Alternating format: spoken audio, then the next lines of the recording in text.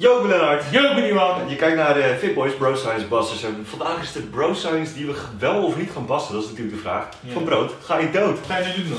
Ga je Nou ja, weet je, je moet soms als, als, wagen? als wetenschapper moet je gewoon dingen ondervinden. Dus ik ga nu even, voordat we verder gaan, Bro. volgens mij gaat alles eh, goed, goed. Ja, weet je zeker? Pas op man.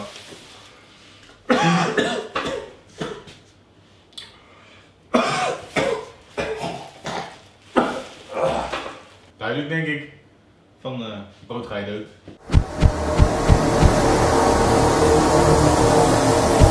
Of nee, toch niet? Oké, zijn we weer. Iwan, ik, eh, ja, ik ben weer opgestaan. Opstaan uit de dood. Opstaan met de dood. Tussen, deze, tussen de opnames van de intro en deze opname zit ongeveer, wat was het? Hoe lang ben ik eruit geweest? Hoe lang ben ik in het hiernamaals geweest? Een weekje of zo? Ja man, weet je. Anderhalve week. Hoe was het? Een weekje weg. Ah, ja, Ben je wel je- een beetje afgevallen of niet? Ja, zal ik- zal ik- Ik zal weet je, geen brood weet het, is je. op zich, het is op zich chill, daarboven. Maar de gyms zijn wel echt, eh, weet je, dan kan je nog beter een basic fit hebben. En dat echt niet snel. Nee, Nee. dat zeggen wij niet snel. Nee, het idee is dat je daar gewoon lekker tot rust komt. eh, rest in peace. Maar goed, Ja. dat, dat is voorlopig nog even niks voor mij. Je Oké, vertellen. ja, dus je dacht, kom maar gewoon terug. Ik kom gewoon terug. Want er is iets belangrijks. Ehm, Ja, we moeten de rest even gaan vertellen, dat ze geen brood meer moeten eten, denk ik. joh, wat doe je nou? Gooit gewoon brood weg. Nou, daar ligt nu brood. dat is natuurlijk niet handig, hè? Hoezo niet? Weet je wat? brood nodig? Dat vind ik een hele goeie. het, brood? Ja, nee, ik vind het een hele Ja. goeie. Goeie grap, hè? Ja, dat is lekker, dankjewel. Neem even lekker een slokje. Op de gezondheid. Ja, precies.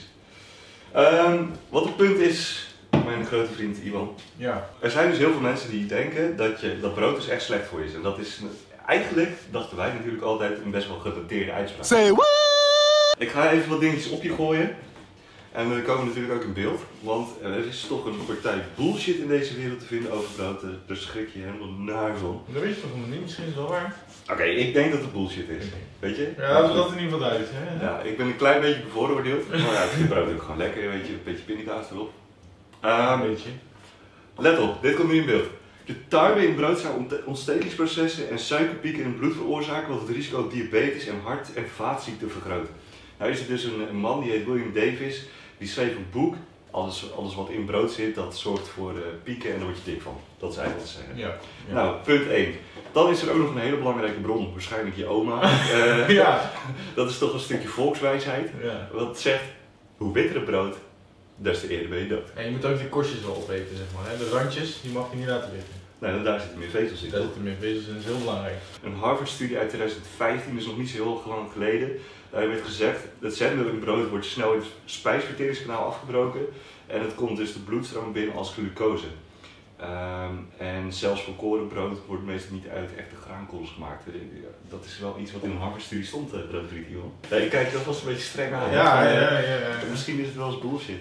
Eh, dan was er ook nog eh, Menno het Hoen in de Volkskrant in 2012 die zegt voor volkorenbrood word je alleen maar dikker. Nou ja, dan ken je de Fitboys natuurlijk. En dan is er ook nog eigenlijk de trigger voor, voor mij om dit onderwerp voor te stellen en om het uiteindelijk ook te doen, is dat er heel vaak eh, dat de gasten naar me toe kwamen die zeggen ja, ik ben gestopt met brood eten, dat weet sixpack. Dus, Iwan, we hebben aardig wat, eh, wat dingetjes die, eh, die eh, mensen zeggen over Ja. brood en die zijn vaak niet heel positief. Nee. Nu is de vraag, is deze bro science echt bro science of berust het op waarheid?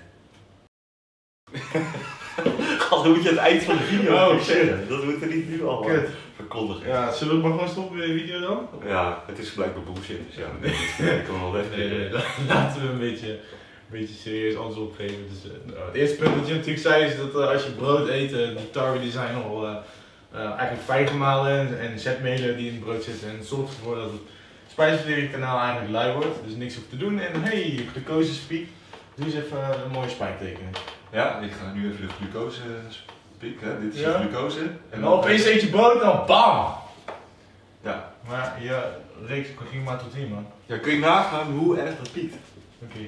Ja, en, en dus als je hier bent, dan word je, ga je opeens dood. Krijg je, eh, Dat is, Spontaan, als je dat één keer doet, krijg je diabetes. dat is eigenlijk wat ik al had. Dus ik had eigenlijk brood in mijn mond, ik had het nog niet eens doorgezet. En toen kreeg ik al die pieken, ging dood. Ja, toen krijg je opeens hart- en vaatziekten, diabetes en eh, alles Ja. nee. Ja.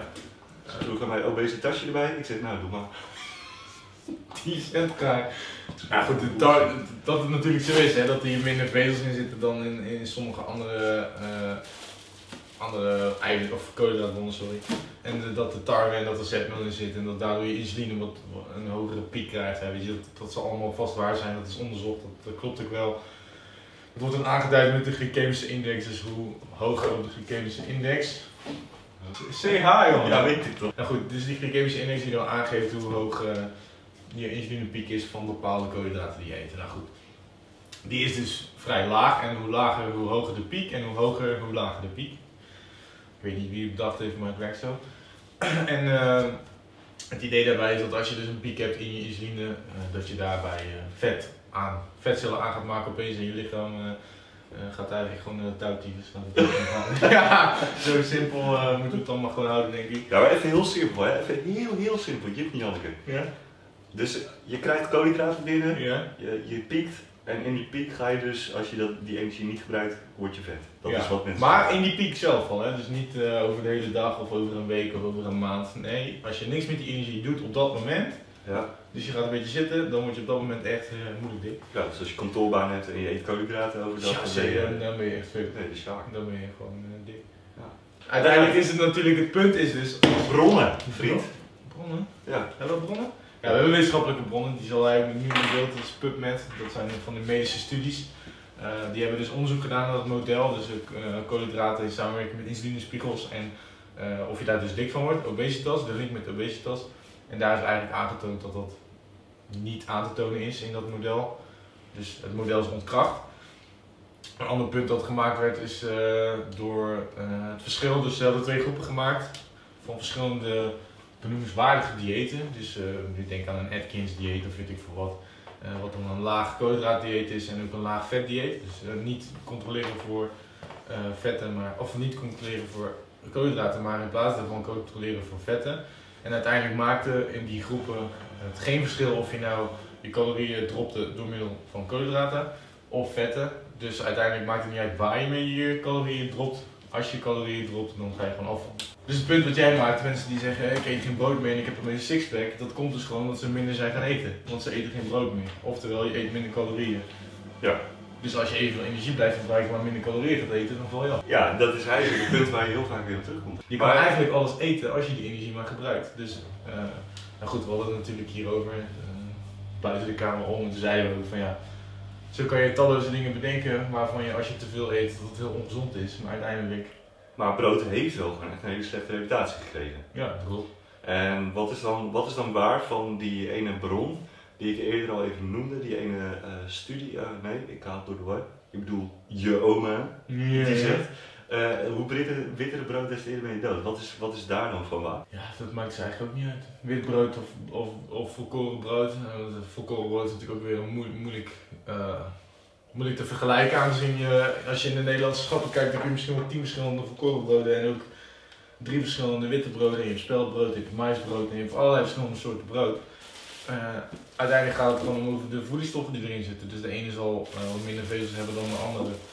Eh, daar kan je wel eventueel nog op letten, want het is wel handig als je je dagelijkse behoefte aan vezels binnenkrijgt. Eh, maar ja, dat hoeft niet per se met brood. Dus, wat raad je dan aan? Eet waar je zin in hebt. dat. Ja, Geef in kinderen waar ze zin in hebben en eet waar je zin in hebt. Ja. En controleer voor het aantal calorieën dat je nodig hebt. En zorg er gewoon voor dat je niet dik wordt en dat je gezond blijft sporten. Juist, dus eh live heavy en eh, eet brood. Wat je wil. Oké, duidelijk. Dus de Nederlander kan gewoon lekker een, een, een wit boterhammetje blijven eten. Ja. Hoe kwam het dan dat ik dood ging aan het begin? Hoe is dat, eh? Ik denk dat je beter aanstellen was, maar goed. Ik heb een week op je zitten wachten. Ik ben zelf ook bijna dood gegaan, man. Je hebt geen eten in huis. Dus, het finale moment is daar.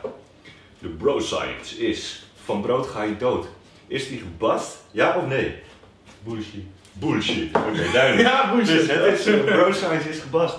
Oké, dames en heren. Ik hoop dat dit heel veel duidelijkheid heeft geschapen in, uh, in de vraag: ga je nou dood van brood of is het slecht voor je? Of word je er dik van? As usual dus. Eindconclusie: nee. Nee. Blijf lekker brood eten. Ja, dan drinken wij weer even een monstertje. Drinken wij nog even een monstertje. En uh, mocht je nou nog een goed idee hebben voor Bro Science Busters, drop het even in de comments hieronder. Um, zouden wij het ook heel erg waarderen als je tijdens het eten van je, van je boterham even een blauw duimpje omhoog geeft. Ja, Um, en dat je Fitboys maakt met uh, Nutella of pindakaas. Ja, weet je, stuur even je gekste combinatie via Instagram of Facebook en het schelen. Dan zeg ik uh, uh, Fitbrood, Fitboys out. Fitboys out.